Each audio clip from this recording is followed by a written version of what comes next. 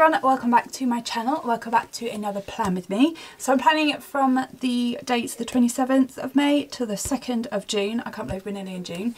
It is half term so I have my children at home, they also have friends around, so I'm probably not going to be able to do a voiceover today because today's Tuesday. I didn't manage to film last weekend so I'm having to do it today. So I'm probably just going to do this intro and then the rest will be through to music which I hope is okay but it's kind of impossible to keep my children quiet for a few minutes let alone a 10 minute voiceover video and they've got friends around so yeah that's just not going to happen. But today's kit is from Plush Paperies. It's a really pretty kit. Let me zoom you in. So here's all of your full boxes and you've got some quarter boxes down at the bottom. You've got some half boxes, some weekly checklists, two habit trackers, two bill dues and the scalloped labels down at the bottom. Then you've got some heart checklists and some more little quarter boxes. There's so many quarter boxes that it's, I love it.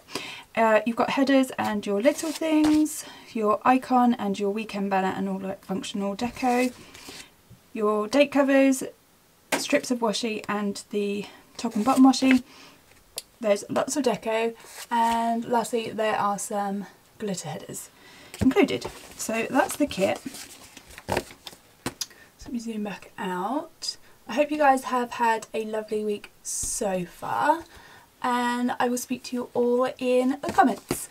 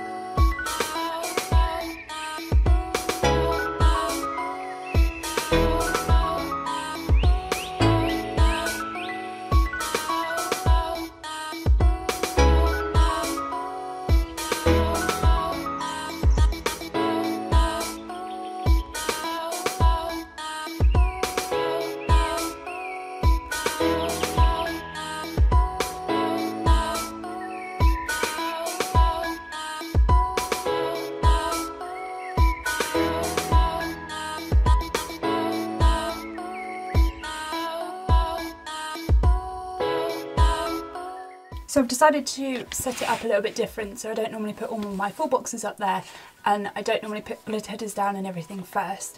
But because it's half term we you know might be doing things. Sometimes if I plan a lot of things in my planner for half term it either doesn't happen I have to try and squeeze something else in. So this way I'm going to be leaving some open spaces in case we go and do something throughout the holiday. Hope that makes sense. Um, yeah so I know if you guys have been watching my channel for a while, you'll know that this is not how I set up my planner. But if you're new, then you'll think that this is normal. It's not normal. But I thought I would just let you know that I am setting up completely different to how I normally do, as it's half term.